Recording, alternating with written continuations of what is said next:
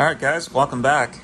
Today we're going to be showing you how to degree the cams on your Hayabusa engine. So, don't pay attention to any of this first. First things you got to do is go through the through the basics. So why do we have to degree camshafts? So this is a Gen 2 engine, and this is called the base spacer motor.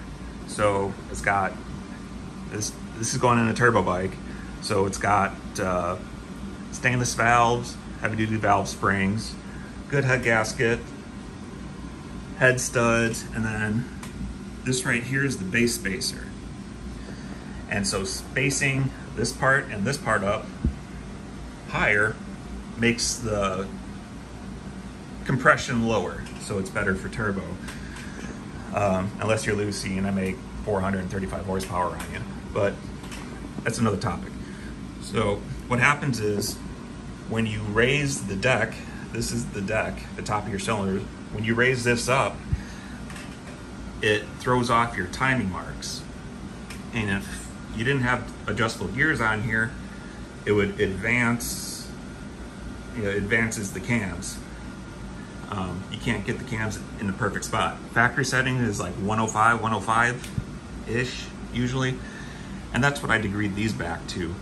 Another reason why I might use uh, adjustable cam gears is even if you didn't change, you know, put a base space or anything like that, and like NA combos where you have real high lift, long duration cams and like NA stuff, you'll need to, to, to degree the cams to make sure, the compressor just went on, you want to make sure you degree the cams um, to make sure you have the proper piston to valve clearance because on um, you know NA or nitrous motors they have domes on the pistons and the piston to valve clearance gets real tight. So that's another reason why you want to make sure that your cams are degreed properly and that'll give you your proper piston to valve clearance typically. So you want your you want to take the plug out here and here and you want to rotate the engine over. This is clockwise on this side is the running direction. So you want to run it until, let's see,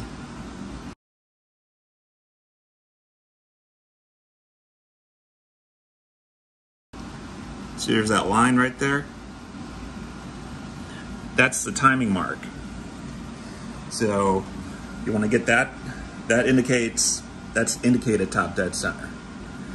And uh, it's also worth saying you want to have your cams in in the factory positions. You want to have your tensioner and your chain buffer in with the tensioner tight and everything. So first thing you want to do is find top dead center on your degree wheel. So what you do is you stick your degree wheel on and by the way these are probably the best degree wheels to use. They're the biggest ones, so it's easier to make fine adjustments. Now there's two types of uh, degree wheels. This one's the 0 180. There's other ones, usually the smaller ones are like 0 to 90. And there's a different way that you use those, but for this conversation, for this video, We'll just talk about this because this is probably the most cheapest and most commonly used one as far as I can tell. So you want to knock your crank bolt out on the balancer and you want to get it centered up. And then there's this little oil port bolt right here, which works really well for the pointer. So you just loosen that up, it's 10 millimeter, and you get it, you know, depending on how you look at these, you see how it changes. You always want to look straight on. And so looking straight on, this one is about uh, half a degree. Just spin that just a little bit. So you're, when you're looking straight on. All right, so that's indicate, indicated top dead center. Also, Another way you can verify is the intake cam and the exhaust cam valves on number one cylinder, this is number one, are facing into each other. That's, you know, another way you can check your work basically. So first thing you wanna do is check your, or make sure the wheel is reading exactly top dead center. And how we do this is with one of these. This is called a piston stop. So what this does is, once you roll the engine past, you want to do that first. You want to rotate the engine 90 degrees, and then you want to thread this in. And what it does is, it's just a fixed point that stops the engine the same degrees before top dead center and after. So I'm gonna set the tripod up over here and uh, show you what's going on. All right, so we're set up here. Like I said, first thing you wanna do is rotate it like 90 degrees because if you put the piston, or if you put that piston stop in right now, the piston's at top dead center, so you won't be able to thread it in all the way. Just go ahead, about 90 degrees, and then insert your piston stop.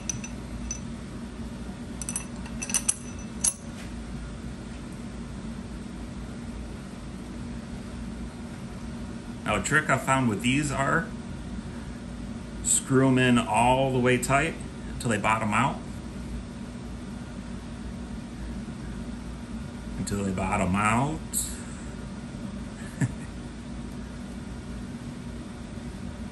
Come on. So it's bottomed out. You can't tighten it anymore. And then take about a quarter turn or so. And what that does is, if you screw it down all the way, it acts like a spark plug and it holds compression.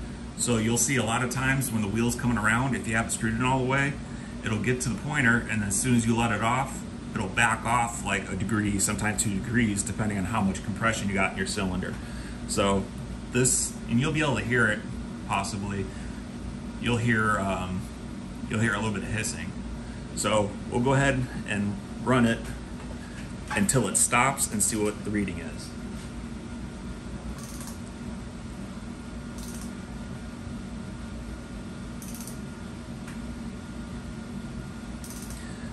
Another thing is you don't want to you don't want to jerk the motor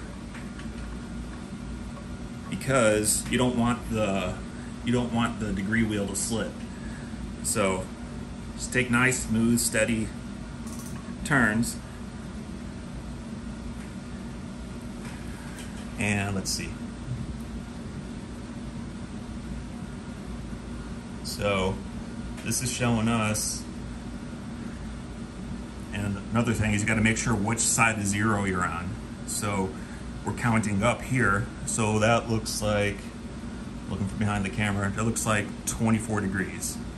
Now we want to roll the engine backwards the other way and see if we're getting the same reading on the other side. So that was 24.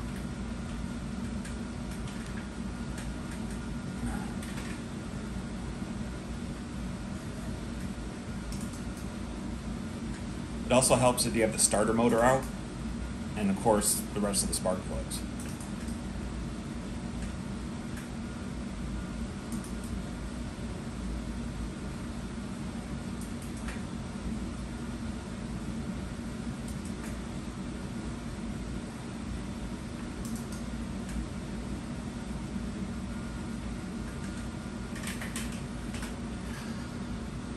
All right. Again, now we're on the back side of zero, so we're counting up this way. So we're at 25, 26. And so, okay, there's discrepancy there. So on the other side, we had 24, and on this side, we had 26. So how you fix that is you split the difference. So if we're on 24 on the other side and 26 over here, if we bump the wheel 25. Now we should get the same reading on the other side. So you just want to keep doing this and tweaking it until it reads the same on both sides.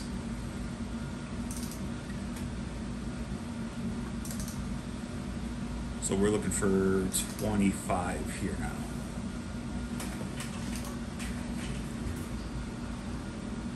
Yep, 25. So, all right, that's good. So let me go ahead here and get set up for the next part. All right, so here we're set up with the uh, with the dial indicator. This is just a JEGS magnetic base uh, dot, uh, indicator. So if you turn this one nine times around, it's one inch. But we're not worried. But all we're really worried about is counting how many times this goes around. To, to put this in the most basic layman's terms. So I inserted pictures, or I will insert pictures of how to set this up with the plunger. So that's a coat hanger that's just taped on. And uh, you know, when you set this up, you want to, of course, you want to miss the cam, and you want to put it on the bucket. Like I said, I'll, I took some pictures that I'll throw in, just because this is hard to, hard to show on video. but basically, what we want to do is get it set up. And then first thing we want to do is make sure that the cam lobe isn't hitting the, the pointer or the, the hell did I call Plunger. it? The clothes hanger here. And you want to make sure it goes through all of its sweep and comes back to close, roughly zero. So you see right here, the cam lobe's straight up. So we're just gonna spin.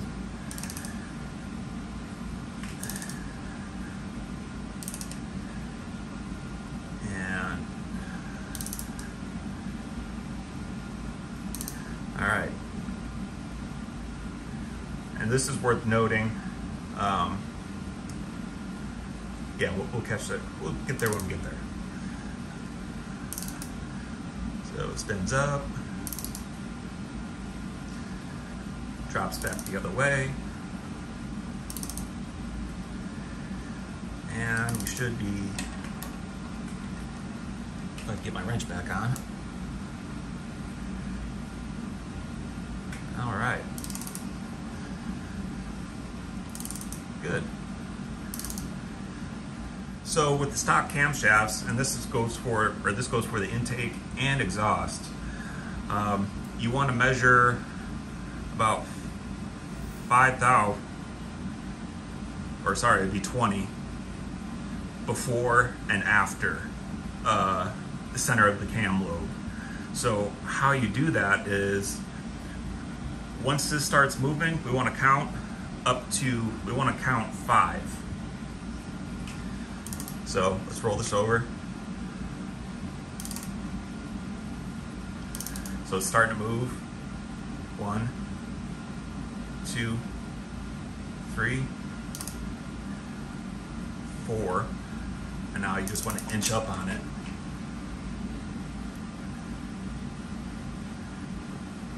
And five.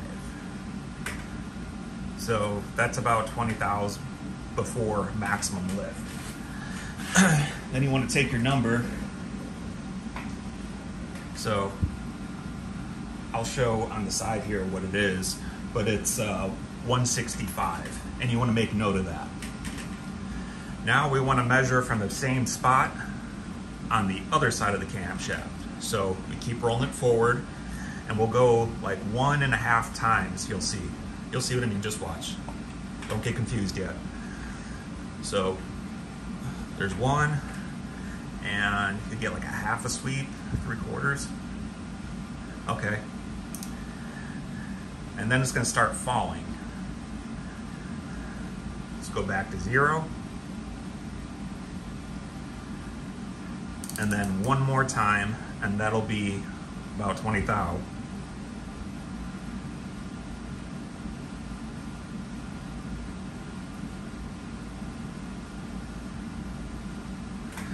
Get it back to zero there.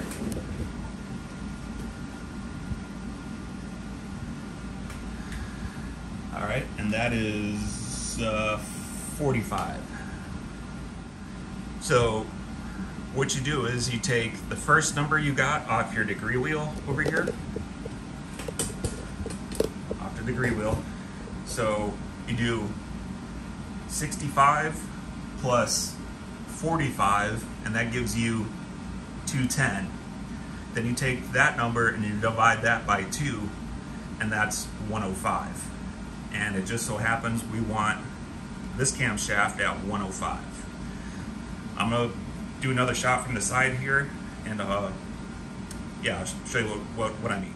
All right, I'm to do the same thing again, except for from the side view, and uh, so you can see what I'm talking about. I'm going to talk through it again. So we're to roll roll it over. All right, the needle just started moving. So that's one, two, three, four, and five. And you want to take that reading. So remember, you got to pay attention to which way the numbers are going up because sometimes it's easy to say that this is one, so 170, 175, when actually the numbers are going up from right to left. So this is 160, 165. So 165. And then one more time around. And this is like our half sweep.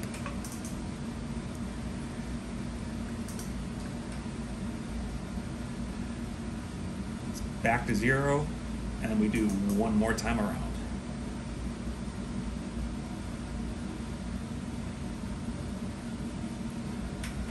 Okay, and if we look, numbers going up. 45, so again, 165 plus 45 is 210 and then you divide that by two, and that's 105, and that's exactly where we want our cam center line. So once you get done degreeing your cams, I'll post up. Um, if you want to raise or lower your numbers, each cam is opposite, and I'll, I'll post the rule up here in a second, because if I try to say it off the top of my head, I always mess it up. But uh, when you get done, you want to remove one bolt at a time, put red lock, clean it and brake clean, and put red Loctite on and snug that bolt in nice and snug. And then roll the engine over, get the other bolt, and you want to do that to all four bolts. And once you do that, you can take everything apart and then uh, slap that bitch in the back in the bike and uh, have fun end of video upbeat music.